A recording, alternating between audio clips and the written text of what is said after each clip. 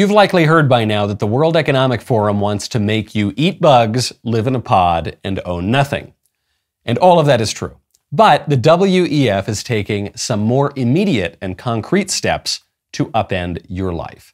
One such power play is something called safety by design, which is probably the biggest big tech threat that you have never heard of. Safety by design is the hobby horse of a woman named Julie Inman Grant. She's just a bureaucrat. She's the Australian e safety commissioner who went viral last year in Davos at the World Economic Forum when she proposed a recalibration of free speech we are finding ourselves in a place um, where we're we have increasing polarization everywhere, and everything feels binary when it doesn't need to be. So uh, I think we're going to have to think about a recalibration of a whole range of human rights that are playing out online. You know, from freedom of speech to the freedom to, you know, to be free from on- online violence, or the uh, right of data protection to the right to child dignity. Since then, Grant has taken significant steps in collaboration with the WEF to make their recalibration a reality. Safety by design is the notion that government regulators can't possibly keep up with all the bad things confronting people online. Not just real problems like criminal threats and fraud and child pornography and things like that, but a much broader array of topics and opinions that leftists deem harmful. So the safety by design solution is to take the burden of suppressing those things off of the regulators, out of the government agencies, and just build liberals' regulatory preferences into the design code of the tech platforms themselves. Here's how it works. Safety by design to me is key. Um, this is putting the responsibility back. It's it's it's having companies um, from the leadership from the top down prioritize safety build it in at the front end. And um, you know now we have the basic online safety expectations which basically lay out um, the duty of care and what we respect the interactive services to be doing as a right to um, or a license to operate in our, our country. So in order to operate in australia they've They've got to build the liberal regulatory preferences into the code of the platforms. Otherwise, the platforms don't get to operate in Australia. But safety by design is not merely being implemented in Australia because Grant serves on a bunch of boards for the WEF, and her plan, in perfect alignment with the broader globalist goals of Davos, is to export this scheme all around the world to control speech in all sorts of categories not just the threats and the fraud and the porn and media, entertainment, even sports. Through safety by design, Grant and the WEF intend and have been open about their intent to push diversity, equity, and inclusion, to suppress what they call misinformation and hate speech, all of which is gobbledygook talk for censoring conservatives and promoting liberals. And if they can convince just a handful of countries to implement these sorts of policies, that could tip the scales to force big tech's hand to implement it for everyone. It's not that you need to convince every country in the world to adopt this stuff. If you convince a few of them, frankly, even if you just convince one of them, that is going to send a signal to big tech to say, okay, look, we're not going to build completely separate platforms for Australia and let's say Canada and the US and France, and then separate separate platforms for all the rest of the countries. So, okay, we'll do what Australia wants us to do.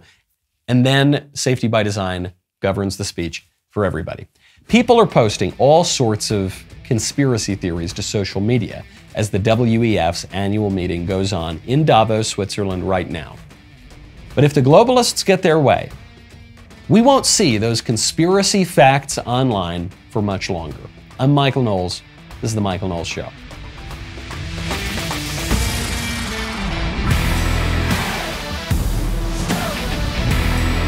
Welcome back to the show. My favorite comment yesterday is from Lucky Jacks, who says, If we could harness even the fumes from these wind bags at the WEF, we could power the entire world for a year for free, at least a year. I think actually you're not being nearly optimistic enough. I think we could probably power the world for a decade, okay? And we, we could avoid the death of our culture, the death that the globalists tell us is coming to all of humanity if we don't give them all of our rights and our political power and our cars and our stoves and all the rest of it, okay? I don't think the world is going to end in five minutes, as these people scare us into thinking. But I do think that you will die, and you will die sooner than you think. And that's why you need to check out Epic Will. Right now, go to epicwill.com, use promo code Knowles. It can be very tough to stick to your New Year's resolution. You set out with lofty goals, you stick to them for two weeks, then you fall right back into your old bad habits. Lucky for you, I have a goal that you can accomplish today. Complete your will with Epic Will for just $119. And in as little as five minutes, Epic Will can help you create your last will and testament, living will, and even healthcare power of attorney. Their step by step online form makes it incredibly easy. All you need to do is fill in the blanks very, very important to have a will. For a long time, I did not have a will and I was very irresponsible because then what would happen to my stuff? What would happen to my family? What would happen to my kids? 50% of Americans don't have a will. Choose today to be in the smarter half. Go to epicwill.com, use promo code Knowles, K-N-W-L-E-S, to save 10% on Epic Will's complete will package. That's epicwill.com, promo code Knowles, K-N-O-W-L-E-S all sorts of conspiracy theories. Here, this, here's a conspiracy theory. This comes from AP News. AP News says, says the World Economic Forum, which opens Monday, is slated to take on pressing global issues, but online. It has become a target of bizarre claims from a growing chorus who believe it involves a group of elites manipulating events for their own benefit. To put a pause right there yes, there are right wingers who say that about the World Economic Forum. That is what the World Economic Forum says about itself. That is the entire raison d'etre of the World Economic Forum is to gather global elites to change the world, to become masters of the future. That's what Klaus Schwab says, the founder and king of the World Economic Forum. It's, it's a conspiracy fact. It is, it is a theory about a conspiracy, but the conspiracy is real. and so the, the, the libs are very upset about this. They say, this isn't a conspiracy that's playing out on the extreme fringes. That's according to Alex Friedfeld, a researcher with the Anti Defamation League who studies anti government extremism. I'm to put, put a pause right there. The Anti Defamation League, isn't that the group that, that talks about anti Semitism and accuses people that they don't like of anti Semitism? Why, why are they now talking about Davos why are they now talking about the World Economic Forum? Why are they upset when people point out that we don't want to eat the bugs and live in the pods and, and have all our property taken away by Klaus Schwab, who is not a Jew, he's a German? He says this is very, very bad. This is we're seeing this on mainstream social media platforms being shared by regular Americans. We were seeing it being spread by mainstream media figures right on their prime time news, on their nightly networks. Oh no. It's terror, it's a crazy conspiracy theory. I mentioned on the show yesterday. If you say that Davos is where the elites get together to completely transform society and change the future, and that's a good thing, then you, are a good, wonderful person. You're insightful. You keep up with the news. If you say the exact same thing, but you conclude it with, and that's a bad thing, then you're a crazy fringe, wild conspiracy theorist. Alex Jones, you got the, the tinfoil hats on. You probably worry about chemtrails and gay frogs. That's it's what Michael Anton at the Claremont Institute calls the celebration parallax. The, the libs are allowed to tell you their plans and celebrate it. But you can't repeat to them the very things that they just told you if, if you were going to criticize it. That's one tactic. One tactic that the libs have been using to downplay what's going on in Davos is to say, well, it, this is just a crazy conspiracy theory. Then the other tactic that they've used, and it's really only started this year, is they say, oh, that stuff that's going on in Davos, it's not a big deal. I saw a headline. I think it was in CNN. Said the real story of what's going on in Davos is the World Economic Forum. It's actually losing its influence.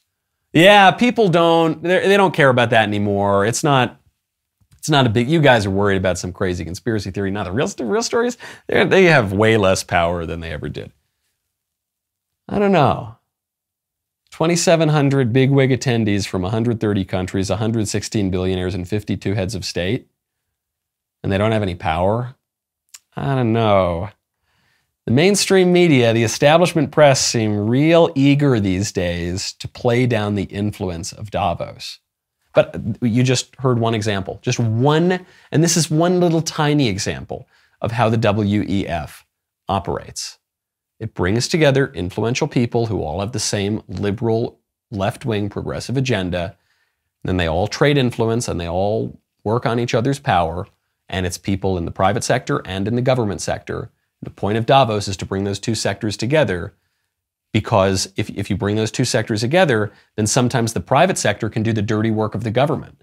And people have no recourse against the private sector. This is what happens when the, the government uses allegedly private corporations like Facebook, Twitter, and Google to, to censor Americans. Well, it can't be a First Amendment violation if the FBI just had a secret meeting with some Facebook exec and said, hey, censor, censor the Hunter Biden laptop story. I mean, I think it is a First Amendment violation, but they have plausible deniability. They say, no, it's a private company. Private company has no First Amendment responsibility to protect your speech. But really, it's the government that was pressuring the social media companies.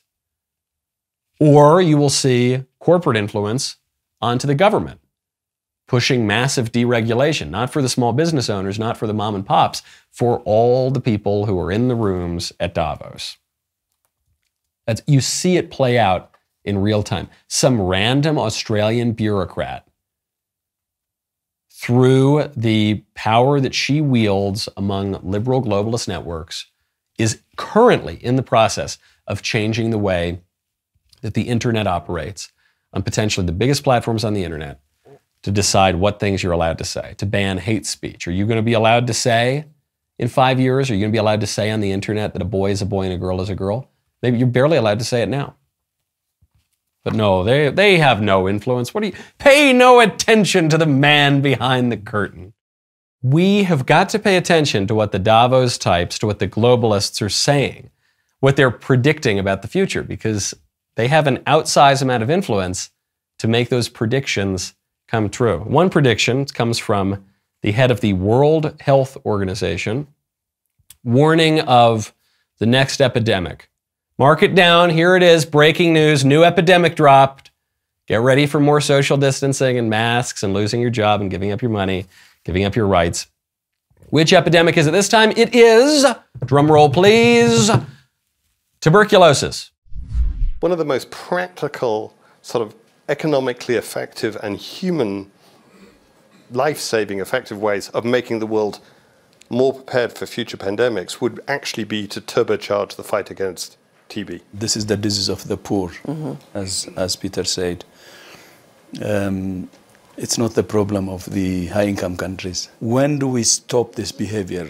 It's only when the rich countries affected that then becomes a serious issue. Mm-hmm. It's a matter of time, but sooner or later, of course, those countries who think that it will not come to them as a problem mm-hmm. may come even imagine the extreme disease uh, resistance, uh, TB. Uh, it, it, it's already uh, coming. Sooner or later, it may come. Now, had we not just lived through the three years that we just lived through, had the WHO not been caught with its hand in the cookie jar, caught red handed, caught mixing metaphors like I'm doing right now, in, in a state of utter corruption when it came to COVID, first helping China cover it up, cover up the, the, the outbreak of the virus, then helping China cover up where the virus came from, going along with the BS ridiculous story that it came from a bad batch of bat soup at the Wuhan wet market, when in fact it almost certainly came from the Wuhan Institute of Virology. In fact, with research the, the, likes of which the United States was funding right there at the Wuhan Institute. If the WHO had any credibility at all, and if the World Economic Forum were not so cartoonishly villainous in its designs and in its overall demeanor, then you might listen to that and say, oh, wow, oh, that's scary. I guess we better prepare. I sure don't want to get tuberculosis. But knowing what we know about the WHO and Mr. Tedros, it sounds less like a prediction and more like a threat. sounds less like a prediction and more like a promise. Sooner or later, it may come. and now you've got the terrible, awful conspiracy theorists. You know, never believe the conspiracy theorists about anything.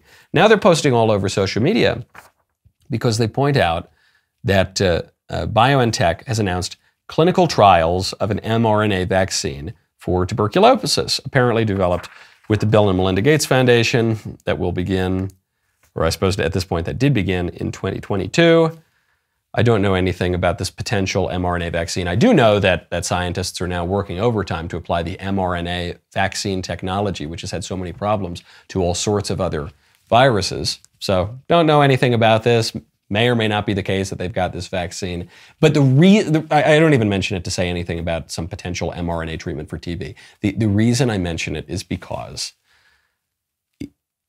it is the behavior of these people of the people in Davos that, that explains why people have all sorts of terrible, crazy conspiracies about them. Because the, the conspiracy theories have often proven true. And because the World Economic Forum is a conspiracy by definition. That is the whole point of it. Is you get a bunch of people together who are very powerful and you have them all work together to decide the fate of the world whether you want it or not. It's a, it's a conspiracy out in the open. It's a conspiracy that is, that is airing on TV. The, the revolution will, in fact, be televised, and a lot of people won't do anything about it. M- my question for Tedros, my question for the people predicting the next epidemic is are you going to stop it before it happens? Not are you going to lock us all down and take away our businesses and shut down our churches and upend our societies after it happens, but are you going to stop it before it happens? My question for the globalists in Davos is Are you people really the masters of the universe or not? Because you present yourselves as the masters of the universe, who, through your own unfettered reason, your brilliance, the likes of which we've never seen in all of history, Aristotle, Plato, Thomas Aquinas, those guys were all dummies compared to you. You, you all figured it out. You've mastered the future. You're going to conquer death. You're going to, you're going to go in, you're going to edit our genes. You're going to recreate humanity, not just culture, but our very biology. Okay, if you want me to trust you to do that, then you better be able to live up to those promises that you that you shall be as gods. So, can you stop a, a virus outbreak? I see no evidence of that. In fact, from the behavior of these sorts of globalists, I see them exacerbating a lot more problems than they're fixing. I see them funding gain of function research at the Wuhan Institute of Virology on bat coronaviruses that almost certainly caused the outbreak of that pandemic that they exploited to shut us down for three years, which they then called a, a, rare but narrow opportunity for a great reset of our whole society. What a wonderful turn that could be. And then they applied their genius to create these vaccines in a, in a mad rush that they told us were totally safe and effective. And now people are dropping dead of strokes, blood clots, heart problems. People are getting nerve damage, all the rest of it. Are you the masters of the universe or not?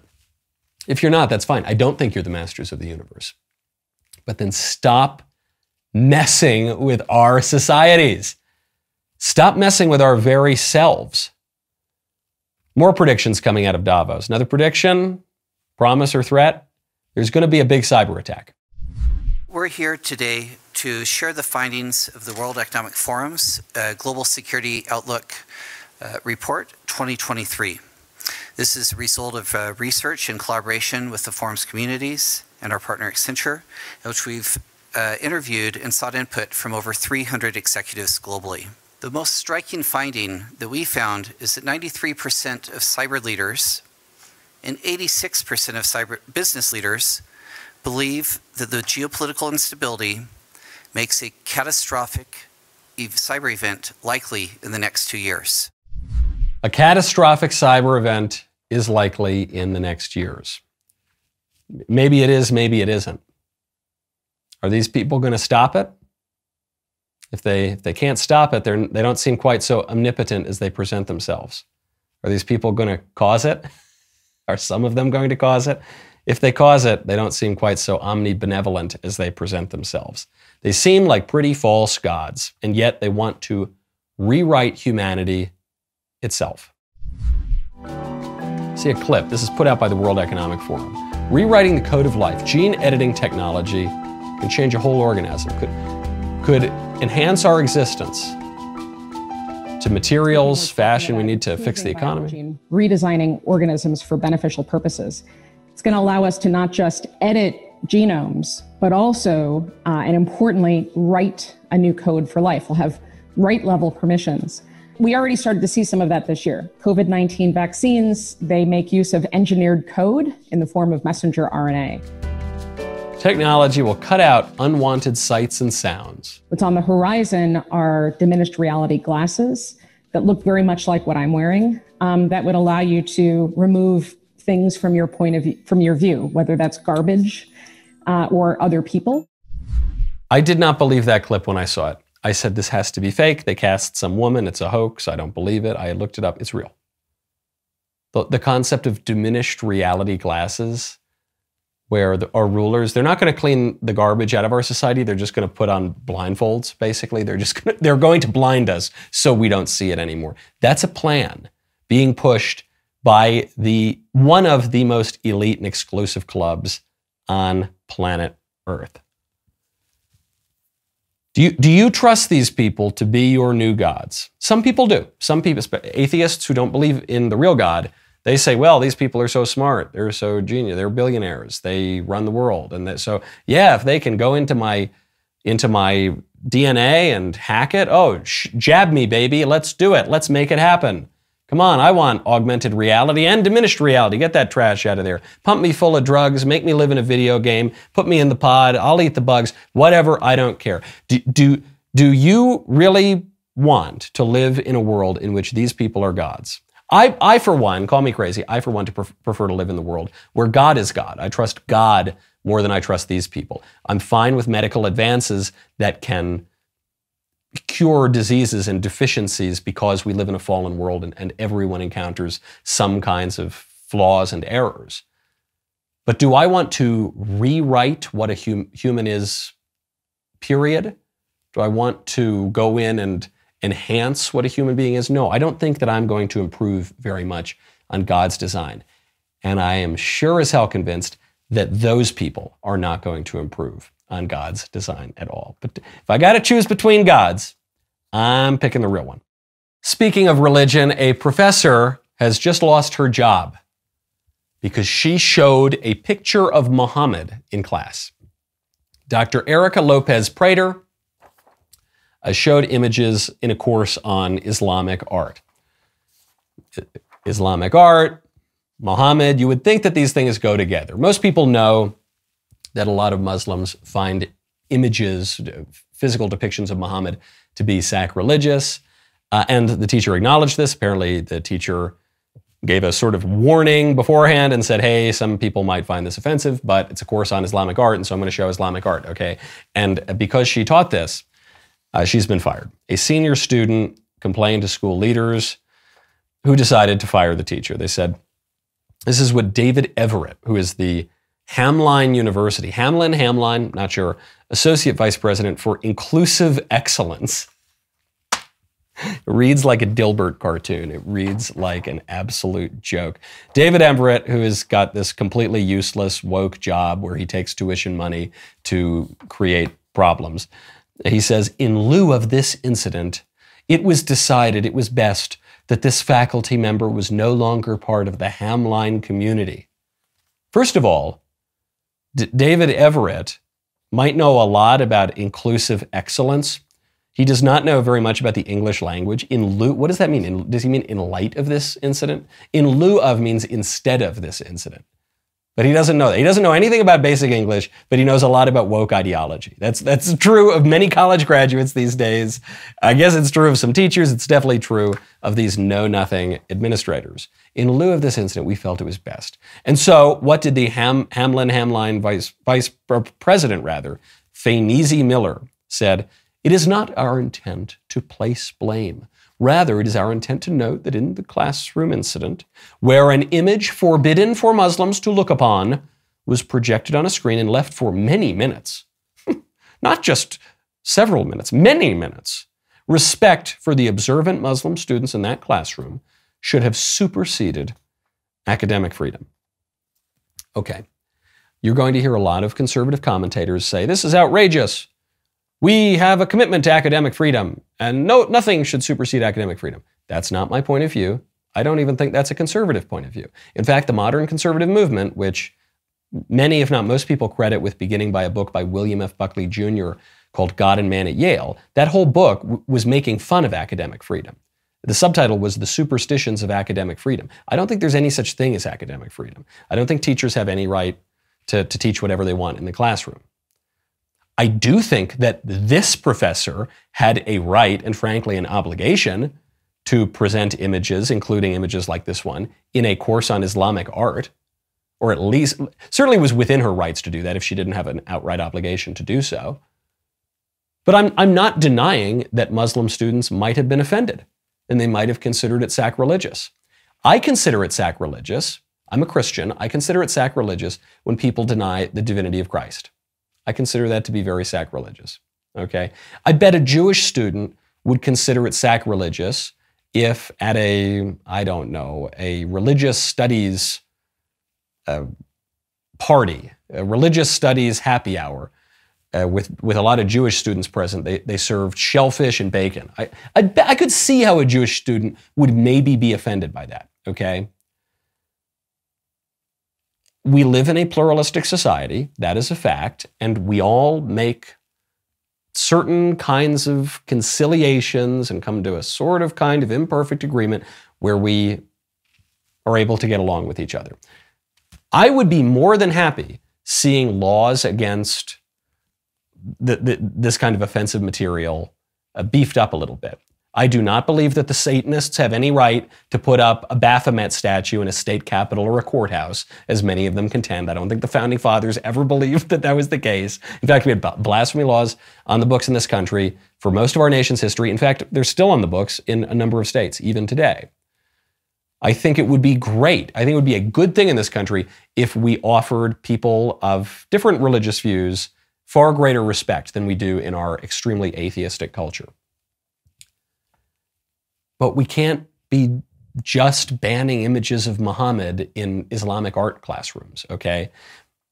In this university, I promise you, a teacher could get up and blaspheme Jesus, could mock the God of the Bible, could specifically mock God in the Old Testament, mock the ancient Israelites, could, could say it's all a ridiculous, stupid, made up story, but uh, make, contrived by a bunch of lunatics who were afraid of a magical sky daddy. I bet a number of professors, certainly many professors around the country have done that. I bet a number of professors at this school have probably done that. You wouldn't hear boo about it. But because it is politically incorrect to, in any way, disparage an image of Muhammad or, or in any way to transgress some practice of Islam. Forget about Christianity, forget about Judaism. That's the only reason they did it. They're not doing it to protect Muslims, they're doing it to protect political correctness. Absolutely outrageous. And they're, they're, they're doing it to further a leftist political agenda. They're using the Muslims to do that, but they don't, they don't really care about the Muslims. They don't believe in Allah any more than they believe in the God of the Old Testament or the God understood in Christianity and worshiped by Christians. Speaking of matters of life and death, you know I've got a little bit of a hobby horse. I referred earlier to the hobby horse of that World Economic Forum lady. I've got a little bit of a hobby horse myself, and I got it from my wife, sweet little Elisa, and that hobby horse would be seed oils. I, listen, I've never been convinced of any fad nutritional diet stuff ever in my life. I thought the Atkins thing was crazy. I thought all the the paleo, the keto, the, all these different. I always think they're all very silly. But there is one nutritional fashion that I'm completely bought into: seed oils, canola oil, palm seed oil, rapeseed oil. It's called rapeseed oil for goodness sakes. All these these gross seed oils that cropped up in the last 30 years and replaced good oils like olive oil, replaced good tasting butter, all the rest of it. I am totally anti seed oil. I was thinking about the evolution of conservatism the other day. I thought, what, what, how has conservatism changed? In the 18th century, it was about opposing revolution. In the 19th century, it was about defending tradition. In the 20th century, it was about preserving liberty. And today, as far as I'm concerned, one of the one of the most exciting motivators of the conservative spirit is just freaking hating seed oils. It's so funny. It's it's kind of an internety you you know you're paying too close attention to politics thing right now. It's going mainstream. It's I know it's going mainstream. It even appeared on a very popular TV show. What's the worst And- oil out there? to, to cook with? You know, this is a really controversial thing. I'm going to be honest. And there's a huge controversy right now about processed seed oils, um, which are relatively new in the food supply and have taken off as rates of obesity and other problems have taken off. Um, so some people think that processed seed oils might be bad for us. Others argue, no, they're not. There's a difference in omega 3 versus omega 6 mm-hmm. fatty acids in them. Seed oils tend to be very high in omega 6 fatty acids, which might be more inflammatory. That was live with Kelly and Ryan. That is a very mainstream TV show, and they are just throwing a ton of shade at seed oils. Why do I like the seed oil thing? One, I, I'm pretty convinced that it's true that seed oils are not the best for you. But the reason I really like it politically is that it's it's not really about the seed oils. The seed oil hatred is a sign for a broader political view. When someone comes up to me and they say, "Michael, I hate seed oils," I I can tell you that who that person voted for. I can tell you how that person stands on the major issues.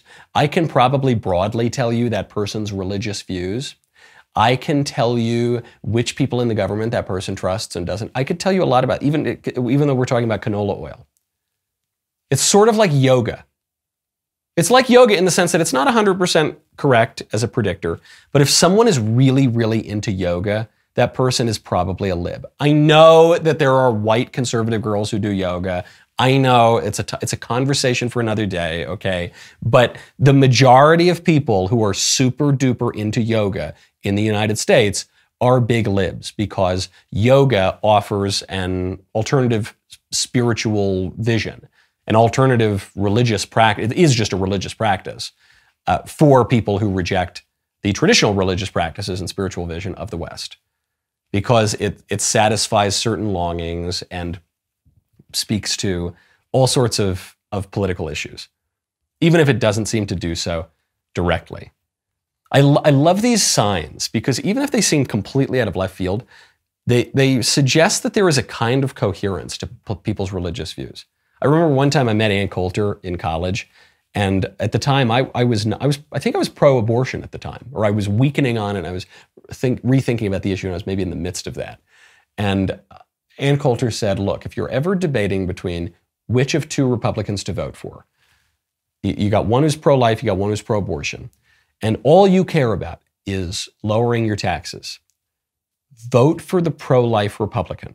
He will lower your taxes more." And that was a really, really insightful comment. Seems like abortion and taxes have very little to do with one another, but they do share certain base. Those two issues derive from the same kind of basic understanding of who the human person is, what kind of rights we ought to have to our own property, what respect we ought to have for life, what skepticism we ought to have from uh, against unjust powers. That, he, uh, that person will lower your taxes more. That there's a kind of coherence to these views. So very often you'll hear people in the middle and the libs and the squishes say, "Come on, we don't need to all agree uh, as one party or anything like that. We can have a view on this over here and a view on that from this other party and a view." And that's true, but you won't make sense. You can do, but it's bet it's much better to make sense. You know what makes sense? Buying Jeremy's Razors. Jeremy's Razors is offering a giant discount right now, 40% off on all Razor subscriptions. Why? I'm glad you asked. I'm glad I asked. One year ago today, Joe Biden tried to force vaccines on just about everybody. Here is what Jeremy, co CEO of the Daily Wire, had to say about that. We won't be enforcing Joe Biden's unconstitutional and tyrannical vaccine mandate. That's it. We'll use every tool at our disposal, including legal action, to resist. Yes, that's the same Jeremy from Jeremy's Razors, who you may remember from this viral commercial.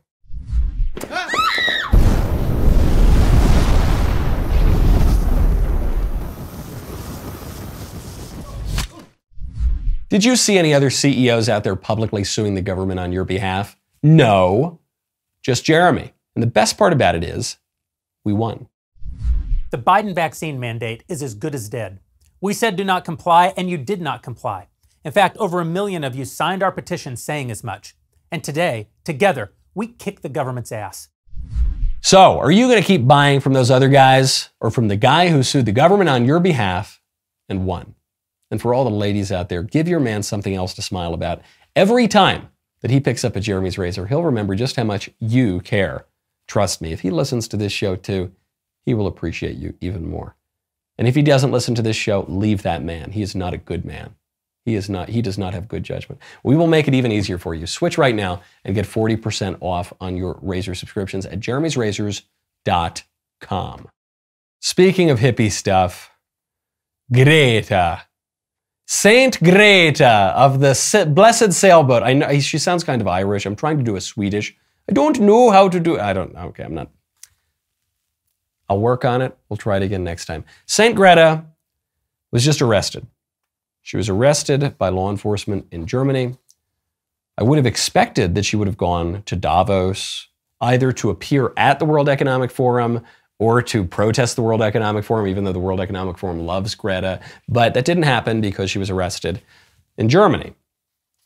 She was protesting the expansion of a coal mine in Western Germany, and according to Reuters, she was warned by police that she would be removed by force if she did not vacate the mine site. And what did St. Greta do? She did not vacate the mine site. And so what happened? She was dragged off by police, marking, I believe, the first time that Greta has ever been arrested.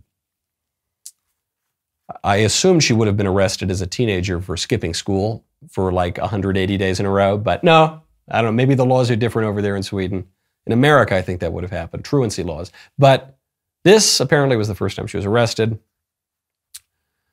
And uh, uh, what the libs have said now is it's time for many more of us to stand up and risk arrest for the sake of being on a livable planet. That's right, she stood up to power, except some video came out, not just of her arrest where they're dragging her off, but video of a little bit before the arrest when Greta is palling around with the cops and actually posing for photos with them. you see, everybody smiles, giggling, taking some photos. Oh, there's Greta just laughing having a grand. Okay, but then photos come. She's got to straightens out her face a little bit.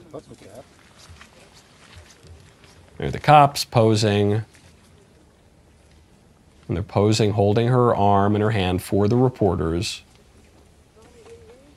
She's there looking defiant. Cops aren't, they're not actually arresting her, they're just posing. And then they finally walk with her in the position of arresting her. Some are suggesting that this was all a stunt cooked up by Greta Thunberg, that, that these weren't real police officers, that they were just men wearing costumes. I don't think that's true. I bet, I don't know for sure, but I bet those were real cops. No, no. The explanation for this photo op, followed by a fake arrest, I guess a, technically a real arrest, but then they released her immediately. They just checked her identity and let her go. And it, the whole thing was just such a fraud. The real explanation is far darker than Greta paid some actors Jussie Smollett style. The, the real explanation is that they're all on the same side.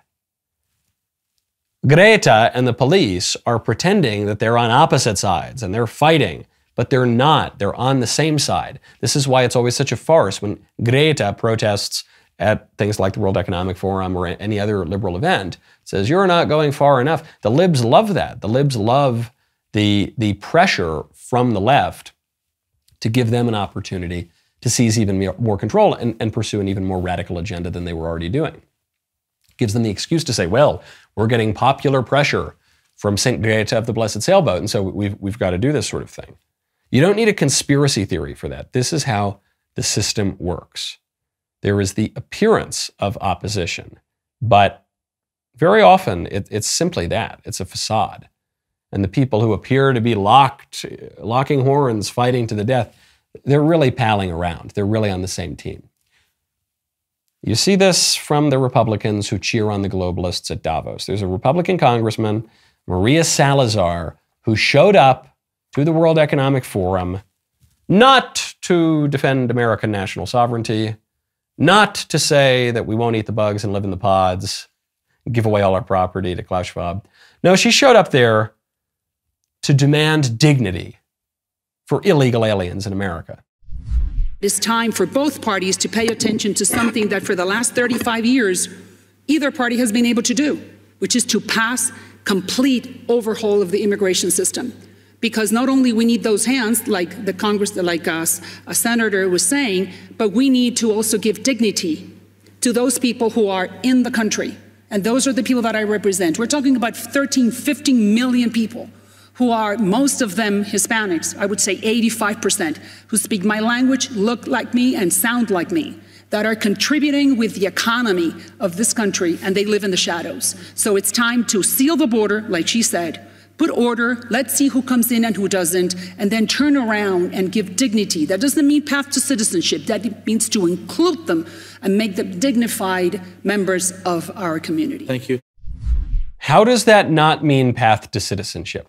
In what in what way do the illegal aliens in America lack dignity that is not merely synonymous with uh, citizenship or a pathway to citizenship? In what way? You're saying they're contributing to the economy. Okay, so they're getting jobs. It's not that they're being kept out of getting jobs. Like when the Irish came here and in New York they put up signs Irish need not apply because there was a prejudice against the Irish. That's not what's happening. Hispanics are getting a ton of jobs in America. That's why they keep coming. Is it they're not being allowed into restaurants? No, they're being allowed into any public accommodation they want. Is it that they're not being addressed by the political class? No, the political class, not only the Democrats who are importing them by the millions every year, but the Republicans like Maria Salazar, they can't stop babbling about the illegal aliens and how great they are. In fact, Maria Salazar said that she represents them. When did that happen? I maybe I'm a little bit thick, maybe I'm a little bit stupid. It's been a while since I took civics. I thought though that the members of Congress represented their constituents who voted for them, who voted in the elections, who are citizens, who are members of that political community. Th- that, by definition, would exclude the foreign nationals who are illegally residing in our country in contravention of the most basic laws of our country. And what does she say? She says, I represent them. She does. I'm sure she does. When these people tell you who they are, believe them. Says, I represent the illegals. That's true. She doesn't represent you. She shows up to Davos. She pals around with all the libs. Yeah, she's got an R next to her name. Maybe she votes the right way. Look, we have a thin majority in the House of Representatives. I'll take what I can get so that Republicans can maintain control. But you think she represents you? You're crazy. She just told you she doesn't. She told you that she represents foreigners. And she represents them before she represents you. If she represents you at all, she represents them first. And she goes to their parties first, and she speaks on their fancy panels first. And she, she, is, she is dead set on giving them dignity. The World Economic Forum is dead set on taking away your dignity. And, and the best she can say is we need to give foreign criminals more dignity, more than we've already given them, which is quite a lot, more than we've already recognized, which is quite a lot. I'll wrap up my little WEF rant with a turn to another kind of squishy guy. But he's not a squish as a Republican who is basically a Democrat. He's a Democrat who is largely a Republican. That would be Joe Manchin, who said that we got a real problem in our country here in the United States. He said this before a crowd at the World Economic Forum. And you know what that problem is? A free press. The problem that we have is the open press system and basically all the platforms. So if you're able to have five platforms, social platforms, that you can basically um, personify the extremes, somebody who is extremely right or extremely left, and it seems like that is the majority speaking. They're not the majority, but they're basically driving everybody to make a decision. What side are you on? Are you on this side or this side? And in America, there's only one side, the American side. It's not the Republican side or Democrat. We should be coming together to solve the problems from a different angle. We should come together to solve the problems, but in order to solve the problems, you have to have a clear view of what you want to accomplish. And in order to do that, you have to pick a side, Joe. And so the, the kumbaya talk of, come on, man, let's not have any labels. You know who doesn't want us to have any labels? The globalist set. Because they don't want us to have any power. Because they don't want us to have any vision. They want to blind us. They actually want to blind us to what's going on in society. They want us to wear glasses that will reduce our vision. And they brag about it on their website. And that, that's true of our physical vision, and that's true of our political vision too. Come on. That's, that's our big problem is, is the free press. First of all, we don't have a free press. The press is a total corporate sham that shills almost entirely for the libs, okay? That's our, that's our free press in this country. So, that, I mean, that's a bit of a problem. the problem is that our press is too free. They allow the, they allow the Republicans to say too much. Maybe not for long though. Maybe not too long. Not for, for too long if the World Economic Forum gets its way. I'm Michael Knowles. This is the Michael Knowles Show. See you tomorrow.